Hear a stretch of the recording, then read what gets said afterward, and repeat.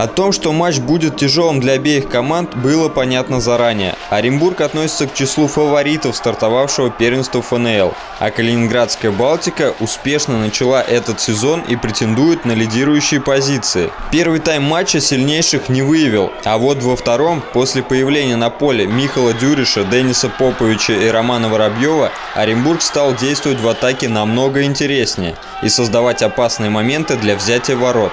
Но исход всего матча решил другой эпизод. На 88-й минуте футболистам Балтики удалось организовать контратаку, которую точным ударом завершил Дмитрий Скопинцев. Отыграться футболисты Оренбурга уже не успели, несмотря на добавленные 5 минут к основному времени матча. Ну, у нас было сегодня два тайма. Первый тайм не так, но по счету, насчет второго тайма, я думаю, что мы заслужили один гол. Ну, самый худший вариант, потому что мы создали моменты, у нас были моменты, но, к сожалению, мы забили. Они на контратаке хорошо разыграли, получили гол.